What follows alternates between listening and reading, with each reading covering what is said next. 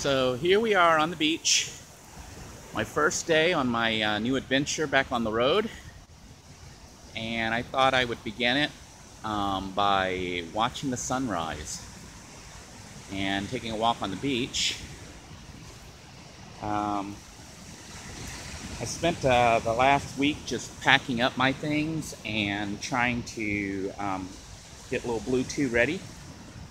And it seemed like it was taking forever. I had a lot of crap to go through, uh, mostly uh, family photos, old letters, and um, a lot of legal paperwork. And that was like taking forever. So uh, my ex-girlfriend was kind enough to let me stay as long as it took to get it straightened out, but um, I pretty much decided that um, I needed to leave. You know, I was probably prolonging the inevitable, so uh, made a decision uh, yesterday that you know that it would be my last day there, and what didn't get done didn't get done. So I loaded up a big, huge bin of, of trash, packed up my um, vehicle as best as I could. Um, I may still have to stop by there one last time just for a final check, but I think I got most of what I need. And um, here I am on the road. So this is the first vlog. I hope the uh, the sound comes out. I tried the cotton tip there to, to block the mic, but um, this is my first time doing this here uh, live on the beach, and I know that we might get some wind noise, so I apologize in advance if there are any. Um, but we're at the, uh, I think it's called the Indialantic Beach. It's the beach at the end of um, 192 in Melbourne Beach.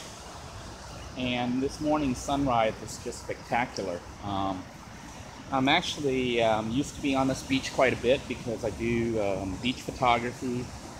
And if you go to my website, um, www.deboerphotography.com, um, you'll see a lot of what looks like sunset pictures, but they're actually sunrise pictures and um, they were shot on beaches mostly throughout Florida along the east coast. And I had a couple here from um, Melbourne Beach. But let me go ahead and give you a, a look at the beach so you can see how nice this beach is.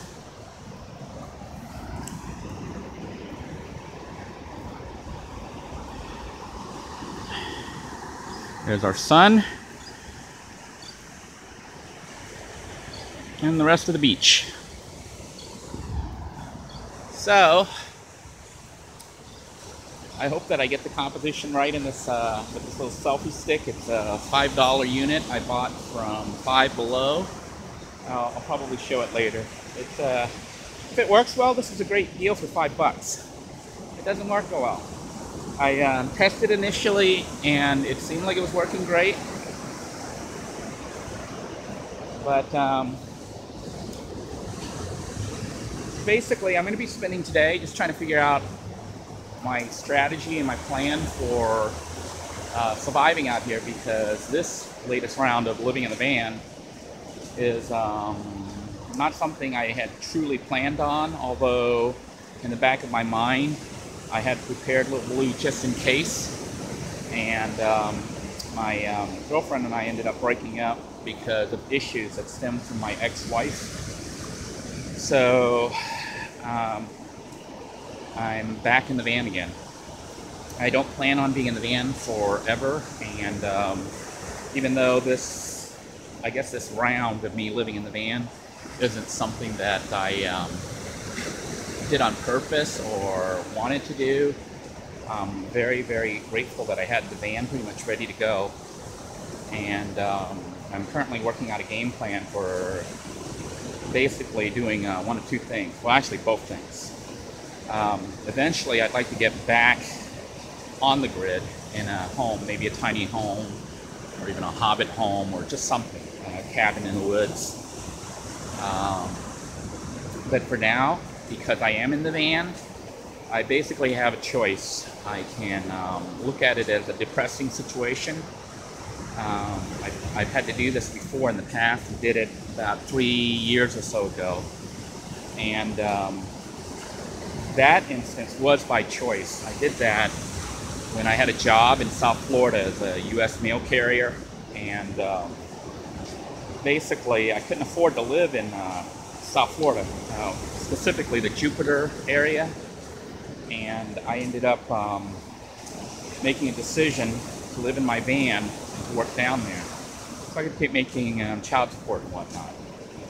And I did that until um, the police pretty much uh, caught me, and um, they don't really do much other than just tell you to move. But unfortunately for me, I had to work there, so you know I told them I was their mail carrier, and if they took me in, they wouldn't get their mail. But um, they gave me a warning first time and told me I needed to stop. Then they caught me again and said, "Hey, you know, you can't keep doing this." And finally, the third time they did it, they said, um, "You know, if we um, catch you again, we're going to impound your car and take you in." So at, at, that point, I was like, "Well," I ended up going back on grid and um, you know rented a room and became broke. Um, you know, because I, all my money went into paying for a room. So this go round though, I um, lost my job recently with the post office due to some accidents. Um, police didn't find me at fault, but if you're with the USPS, anytime you're in an accident, uh, they say the driver's at fault. Now the police came and um, you know, actually I wasn't in one. I was in three accidents. It seems like I have a target that says hit me or something, but um, people kept running into me and, you know, the police would show up, they'd look at the accident, and they wouldn't, you know, say that I was at fault because I wasn't at fault. I wasn't really doing anything wrong. I, you know, I did everything I was supposed to.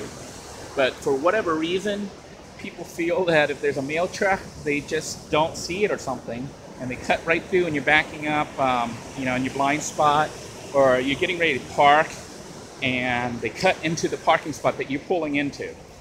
But that's pretty much what happened to me. The post office let me go. Um, I got screwed. They, they wouldn't give me um, um, unemployment.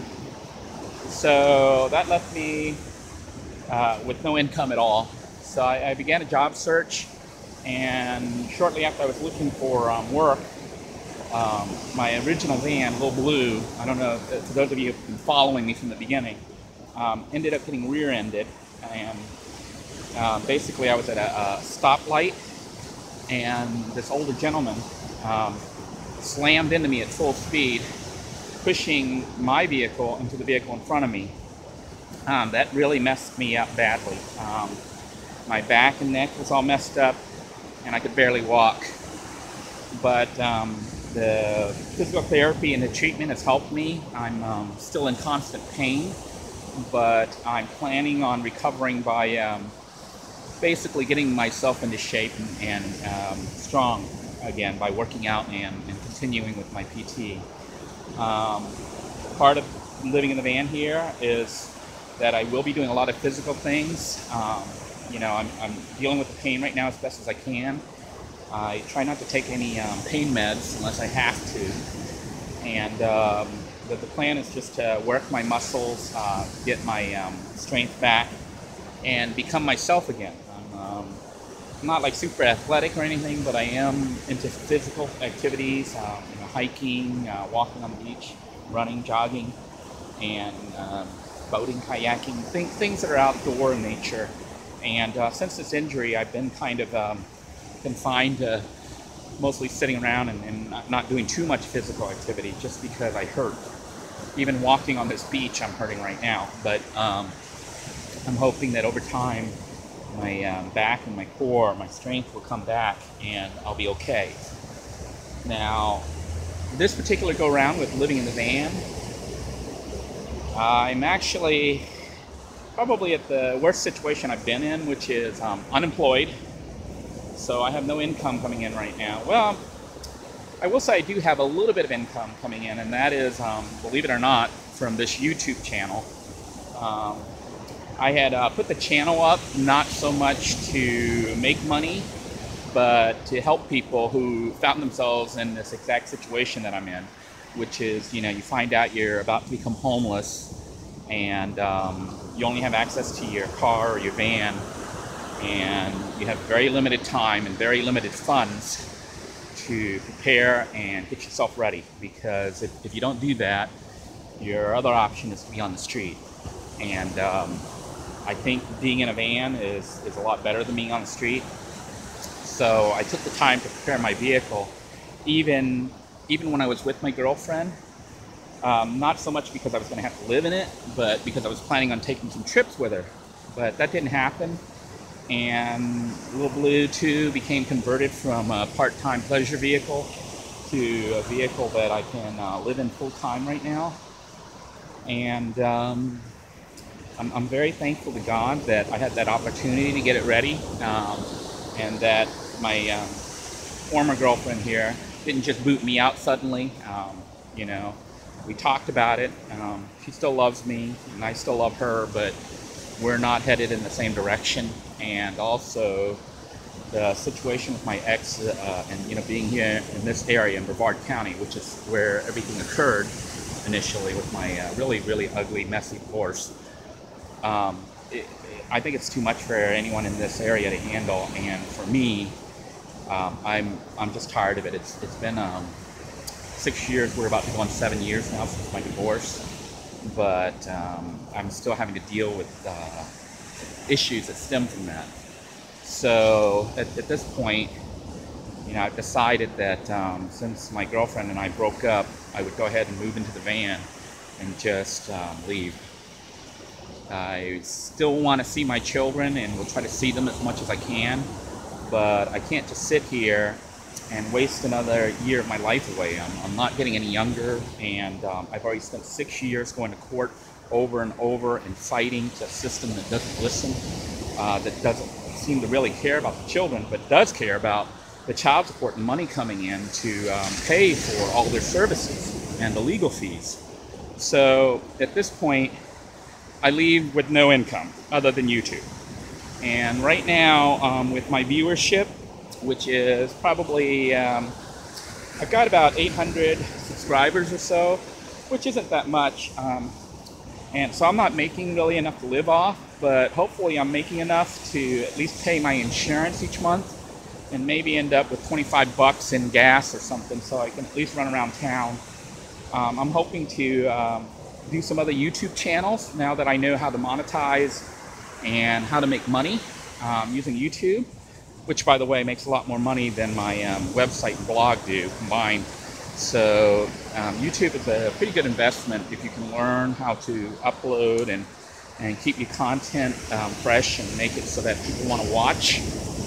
Um, I basically will be working on some other YouTube channels. Um, the Living in a Van channel, like I said, wasn't designed to make money. It was designed to help other people, and I took advantage of the opportunity to learn about monetizing and um, basically how all this works. And now that I know, I'll probably uh, put together a more general interest or a, um, a page, a YouTube channel that has um, more widespread appeal to try to get the viewership up enough to the point where I'm making at least a, a decent income. I, I suspect that you need at least, probably at least 30 to 40,000 viewers to make anywhere near enough to live off. Um, right now, like I said, I've only got 800. Um, I do appreciate if you'd share, like and share this um, video with others to try to get my channel up to help me because it is my pretty much my sole source of income right now and it is like nothing. I've only got 800 and I need about um, 40 to 50,000 or so to to be okay. But like I said, I'm, I'm not just sitting on it. I, I am um, working on um, some ideas for some other channels, just trying to figure out what I can do uh, while being in a van, because that does certainly limit my options for the type of channels I can do. But I need to make one that um, people are going to like and watch and tune in every every time I upload a video and share, so that it can spread and grow and um, that'll probably be my biggest thing. The the other thing that I will do is um, I am a, a, writer. I, I used to be a um, professional writer with the United States Air Force, uh, working as a base newspaper editor. Haven't really uh, used my writing to make money since I left the military, but um, now I'm, I'm going to do my blog and also maybe write some books. I um, I used to be a, a first grade teacher before uh, you know my life fell apart with the ugly divorce and everything else, which I'll, I'll bring up later um, on another vlog. But um, when that life went away, my life just went into chaos the, the past six, almost seven, six, almost seven years.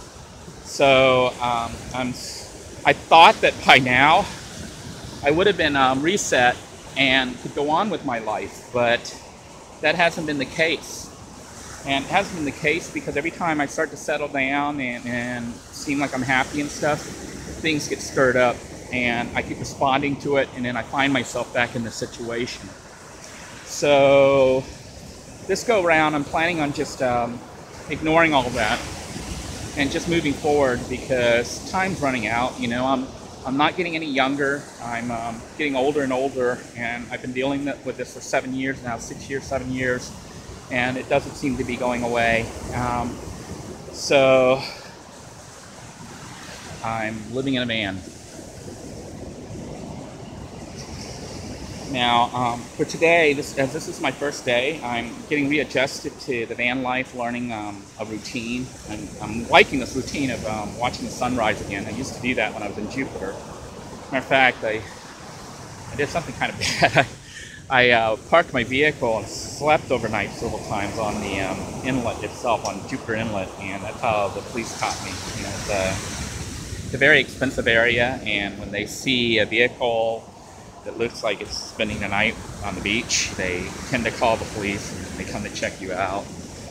It's pretty bad when the police know you by name and knock on your door and say, hey, blah, blah, blah, you know. I mean, they knew me. They were on the lookout for me.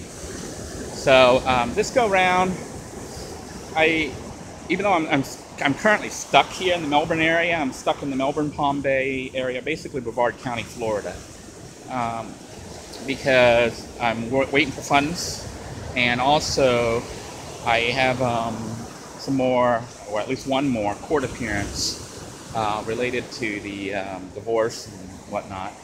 Ex, uh, my ex-wife keeps causing all this stuff and basically calling me back into court, and that's one of the reasons I'm leaving. I'm just tired of it. Um, so the plan will be to establish a process for getting back. You know, either uh, the, the first thing is to get on the road because I do want to take advantage of this opportunity to do what I've always wanted to do, which was to travel. Now, my goal is to travel in the van around the country, maybe for a year or two, and then after that, settle down in a nice little house somewhere. Um, I want to be able to build my own house and become self-sufficient. I don't want to um, be in the rat race anymore. I, um, I'm too old for that. And also, I just, I just want peace. I just want to be happy. And being happy to me is living a simple life. Um, ideally, I, I can find a, a woman who shares the same views.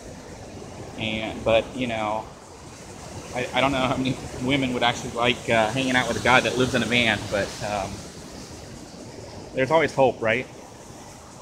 The, the other thing is um, just basically surviving day by day. So this vlog will initially start off with me just um, probably figuring out my routines, um, showing you what I do every morning. Um, this particular morning, excuse me here, I got sweat in my eye here. It's starting to get hot.